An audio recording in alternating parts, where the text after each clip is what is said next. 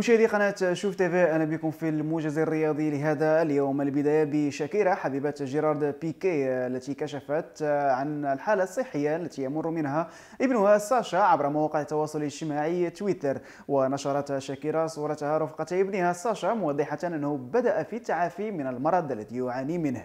وكتبت شاكيرا الشكر لكل من سأل عن الحالة الصحية لساشا. الآن في وضع جيد والأمور تحت السيطرة. أكدت صحيفة كالتشيو ميركاتو الإيطالية أن كل من فريقي روما وتورينو يرغبان في التعاقد مع الدولي المغربي أشرف الزعر الممارس حاليا بنادي نيوكاسل يونايتد الإنجليزي لكرة القدم خلال مرحلة الانتقالات الشتوية المقبلة. وأفادت الصحيفة نفسها أن كل من روما وتورينو يجتهدان في إغراء اللاعب المغربي للتعاقد معه أو على الأقل استعارته في الميركاتو القادم.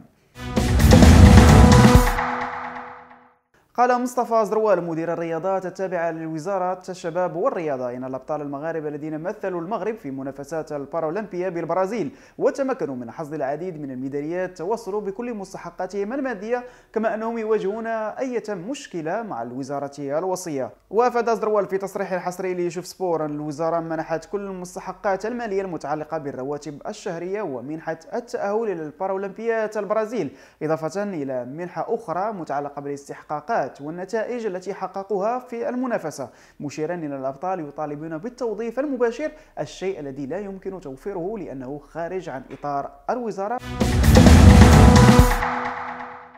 أكدت مصادر داخل الجامعة الملكية المغربية لكرة القدم أن المباراة الودية أمام الفراعنة لا أساس لها من الصحة موضحة أن سماسرة كرة القدم بمصر يسعون إلى ترويج مثل هذه الأخبار لمفاوضات الجامعة. وأكدت مصادرنا أن المنتخب المغربي سيخوض معسكرا تدريبيا بمدينة العين الإماراتية في الفترة ما بين السادس والعشرين دجنبر إلى حين انطلاق منافسات كأس إفريقيا 2017 موضحة أنه نفس البرنامج الذي خاضه المدرب الفرنسي رينار مع منتخب زامبيا والكو كوت ديفوار الذي حقق معهم لقب كأس إفريقيا.